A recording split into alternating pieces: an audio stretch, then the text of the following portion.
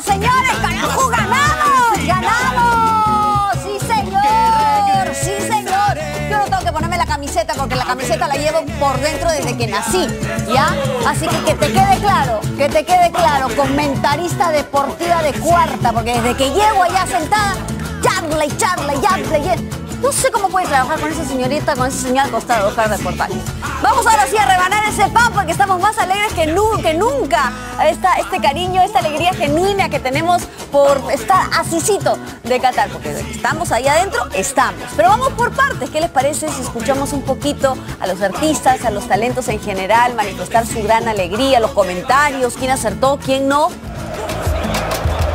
Conocidas figuras del espectáculo llegaron hasta el Estadio Nacional para alentar el equipo dirigido por Ricardo Gareca. Brunel Ahorre y su amado Richard Acuña no se perdieron este partido que sacó chispas.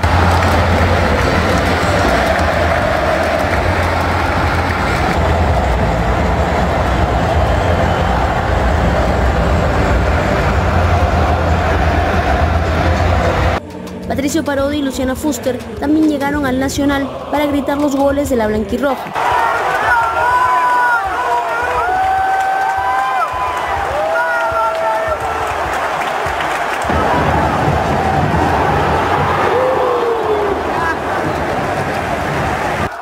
Valeria Piazza y Pierre Cateriano compartieron todos los detalles de este gran acontecimiento.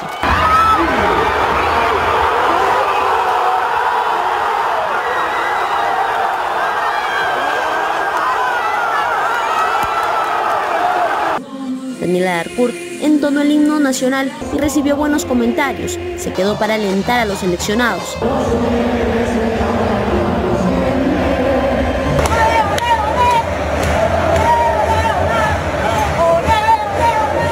Lucelia Echevarría también formó parte de esta ola de gente que no se cansó de apoyar a la selección poco más de 90 minutos.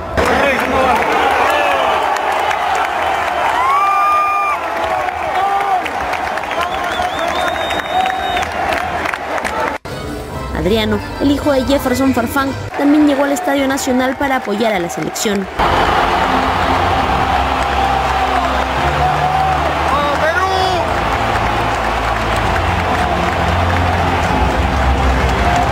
Ale Fuller quedó impactada con tremenda locura que se vivió en el Estadio Nacional.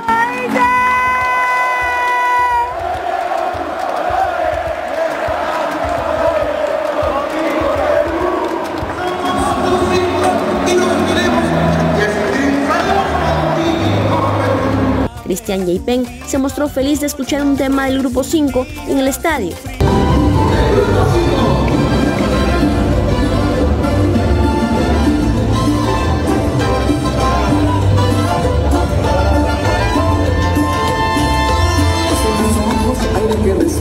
Estadio Nacional vivió una verdadera fiesta tras conocerse los resultados.